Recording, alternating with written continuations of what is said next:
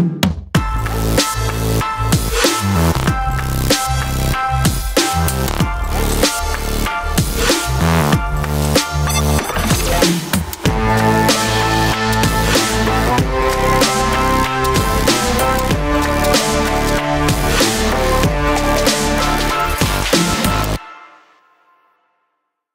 Hi. Hi. Bonjour. Bonjour tout le monde. Good morning.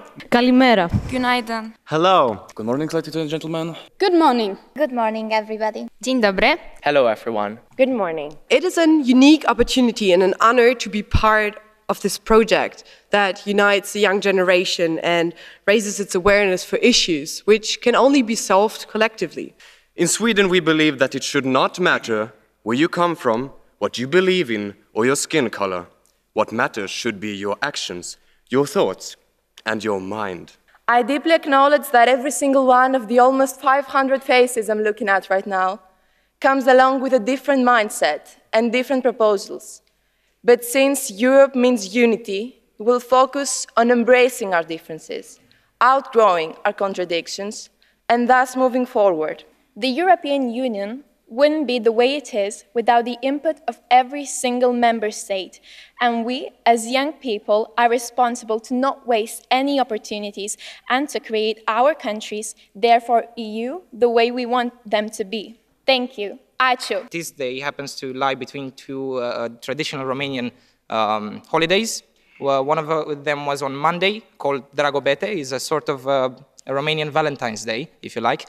Uh, and uh, there's another one this Sunday called Mărțișor, which marks the beginning of spring. And uh, because of this, we would like to wish you lots of love and may you have a prosperous year. Thank you. Thank you very much.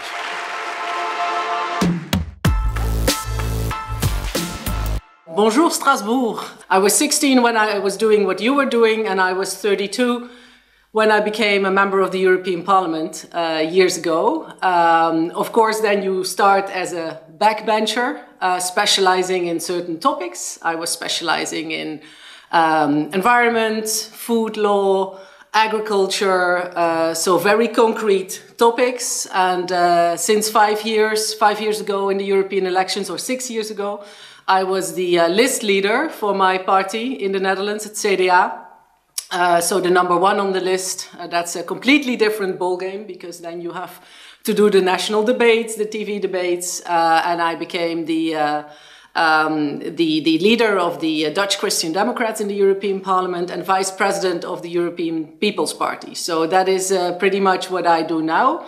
I work in the area of climate and the environment and also in economic and um, uh, monetary affairs. And uh, as vice president, I coordinate the work of uh, about six different um, committees in the European Parliament. So not only the economy and environment, but also transport, the internal market, social affairs, etc.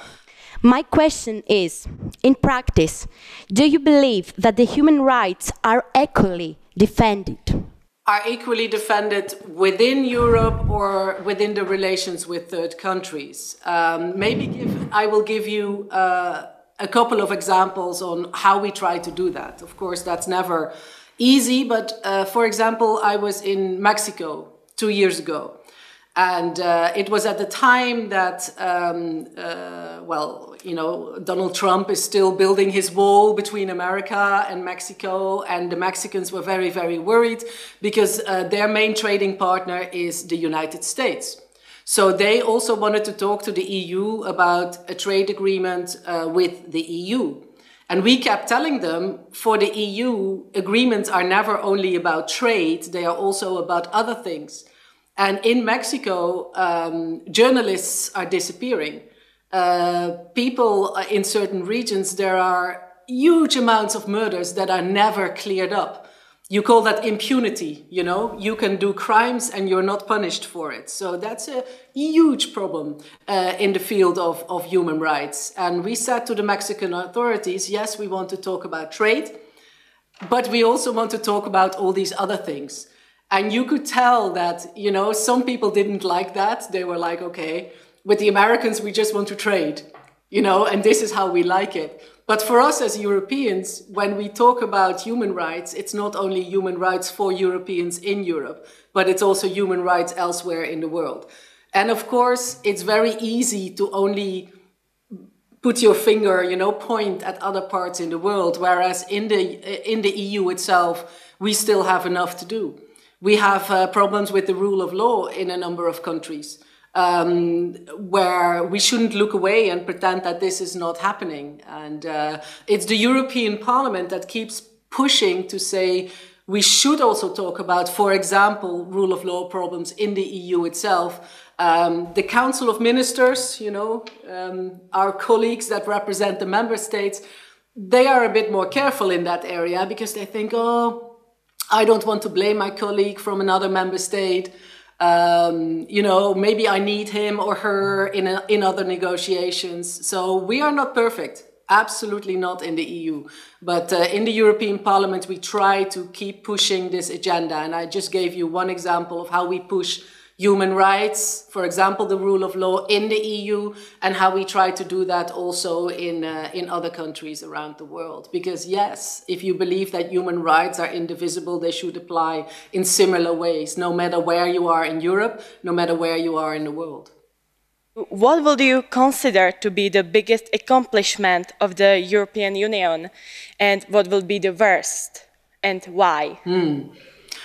Well, the biggest accomplishment, I think, of the EU is that we now take it completely for granted that countries in Europe or on the European continent get along. And that they, when there is a problem, they meet, they sit around the table, and they try to solve it. This is not something that, you know, my grandparents' generation would have believed. Uh, for my grandmother's uh, generation, you know, my grandmother lived very close to the border between the Netherlands and Germany.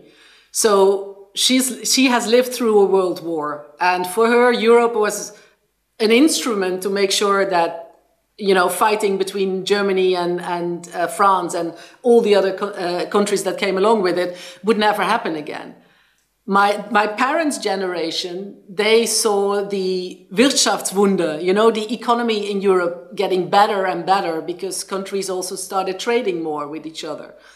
And my generation takes all of that for granted. We find it completely normal that we have peace, that we have stability, that we have, um, uh, uh, you know, a, a relatively uh, wealthy life. But it's not automatic if you see what goes on in the world around us. So the biggest achievement is, is basically the success of, of, the, of, of the EU in, in, in, you know, making this automatic. And this is at the same time the biggest vulnerability among you, the, the, the, younger generation, because you're not like my grandmother's generation. You don't think, oh dear, you know, maybe the Germans and, and the French will start fighting again. You don't think that you're very used, unlike my parents' generation, uh, you know, to, to, to, to living in, a, in the wealthiest continent in the world. Um, but this success also makes the EU very vulnerable because it means that nobody or a lot of people think this is so automatic, we don't need to fight for the EU again, to stick our neck out and to say this is a good thing, let's make it better. Um, uh, you will hear a lot of people in national debates say, uh, I like Europe, but I don't like the EU. Or I would like to be in the EU, but I only want to trade. In other words, you know, no more free movement of people. Once people start saying that, things are going to fall apart. Let's be aware of that. And I don't think we should let that uh, happen. So the biggest success is at the same time, you understand, at the moment, the biggest vulnerability. So we need also the younger generation to say, hey, uh, the EU might not be perfect, but we've built something very, very precious in 70 years. And yes, we should make it better, but we are not the generation, like some political parties would wish, you know, that wants this construction to fall apart again. A great amount of 44 billion euros has been offered to Africa in order to raise significant sustainable investments. Do you think that this was enough to mobilize a whole continent, which consists of 1.3 billion people, while half of them have not any experience in electricity supplies? Let me also clarify that I'm asking you because climate change and energy resources are global issues, and international community has yet to understand it. Mm. Very well said. And uh, of course, um, no matter how many billions from the European budget alone will never be enough, you know, for Africa. And Jean-Claude Juncker has also said that Europe has a certain responsibility, actually a great responsibility to make sure that Africa is doing well. And that is in our interest as well. If you know that in the next decades, for example, the population of Africa is going to double from 1.25 to 2.5 billion inhabitants. If you want, you know, to make sure that um, uh, people have chances at home so that they don't on a massive scale start to migrate, migration towards Europe would be, you know, the first choice. You have to make sure that people see possibilities and chances and opportunities at home. And you don't only do that through the European budget. You know, that was the example that you gave, how many money went from the budget to Africa. I think you also do that by giving Africa the opportunity to trade with the EU. And I also uh, say this to, to, to my colleagues in the European Parliament. Listen, if you want to do agreements with Africa about controlling migration, you cannot at the same time say we don't want to buy tomatoes from Morocco or olive oil from the north of Africa. Um, you know, to, you need to provide economic development so people have opportunities also at home. And then I think it's very interesting that you're working on the issue of renewable energies. Because think of what we could do if we would have cooperation with Africa, especially, you know, you coming from Greece, from the Netherlands, it's a bit far, but uh, Southern Europe linked with Africa when it comes to, for example, a network for solar energy that would create great opportunities for us in the EU and also for Africa. So I think what we need is an and, and, and approach. Yes, the budget, like you said, but the budget will never be big enough. So the main opportunities lie in issues like trade, like economic development. And why not? Renewable energies. It's one of the, like you say, issues for the future. And I think we could help each other there. So thank you very much for your questions and your, uh, your attention today. And I hope that just like I was sitting uh, in Strasbourg, uh, you know, 16 years before I became a member of the European Parliament, I'm hoping that maybe less than 16 years from now, uh, some of you will be, uh, you know, sitting in, in that chamber and the one in Brussels as members of the European Parliament. Thank you. Thank you.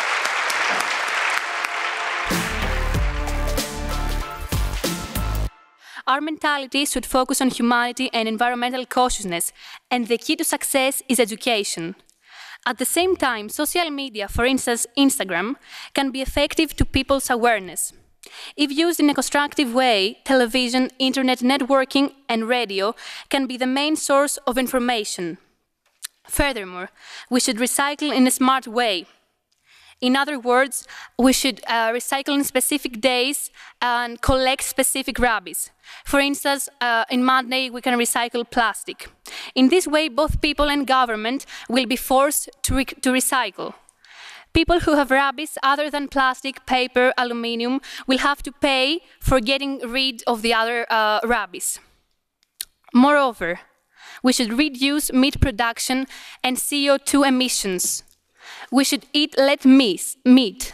But how? People should become more conscious. We should make people understand that much meat is unhealthy for a person's health, as well, uh, and sometimes meat itself is not in a good quality. At first, uh, we agree that uh, human rights are fundamental, but there is a limit here we have to respect the other. The European Union views all human rights as universal, indivisible, and interdependent. It actively promotes and defends them both within its borders and when engaging in relations, in relations sorry, with non-European Union countries. Secondly, we talked about fake news. We should separate the fake news from real news in order for us to be well informed. Then uh, we talked about democracy. Actually, democracy is the only practical system which can fully realize all human rights. At least about security, as regard, as regard uh, security, combating uh, cross-border crime and terrorism is a common European uh, responsibility. Actually, stop terrorism requires talking issues, foreign fighters, border controls, and uh, cutting on funds. Uh, people with addiction often up end up there not because of their own choice, uh, because an addiction can often feel inescapable. Therefore, we should help those with uh, drug, uh, drug problems, for example, uh, by establishing an easy way for these people to get help. Legalization of cannabis, uh, a controlled and legal production of cannabis is more safe um, than buying, them, buying it off the street with, which a lot of people do in countries which, uh, where it is illegal. Uh, it also discourages uh, drug dealers uh, when there isn't a market for it. And make it less taboo for people and more normalized and therefore take away some of, of the excitement. Next, we, have, we talked about there should be a ban on advertisement uh, regarding drugs advertisements on drugs such as alcohol and other harmful substances. Uh, this is connected with the former proposition when it comes to education. Um, this is because ads are harmful when they are uh, about substances like alcohol and other drugs. They have a negative effect on, on people and promote harmful substances in a, uh, in a negative and deceitful manner. Came to the conclusion that Europe's is, Europe is not going to be able to solve all problems, but there are key issues like the environment, democracy, human rights, and focus on the education system that we ha have to focus on. And we also agreed that we in the globalized world have to remain united and promote our values like freedom and democracy. And but we should never force them. But this will also lead to us respecting individuals' countries' values and different perspectives. And with that being said, the only thing I can add to is that the future is the future, and we are not here to predict what is going to happen. We are just saying what we want to happen, and only time will tell. As regards the future of Europe, do you think that the fact that young people are leaving their countries in order to go study abroad has a negative influence on the development of their own home countries? No, we don't believe it's going to have a bad influence. We just don't want people to have to go to other countries and have to educate themselves there. Instead, we want them to be educated in their own country and have the possibilities to have the same education system as every like every other country. That's what we want to focus on, that everyone has equal rights. Yasas, um, Melina Hana, Salam Ali, uh, Abutin Syria. Hello everyone, my name is Hana Al Salem Al Ali and I'm from Syria. However, after the war which broke out in my country, I moved to Cyprus. Life there was very difficult for me and my family. Our house had been bombarded and totally destroyed. Essential things such as food or hygiene products became extremely expensive to buy, and the feeling of fear, stress, and insecurity was prevalent. It gave us no other choice but to abandon our land and settle down in Cyprus, a country which is as a member of European Union respects support and supports human rights. Βασικά μόνο αυτά. Ευχαριστώ. Thank you.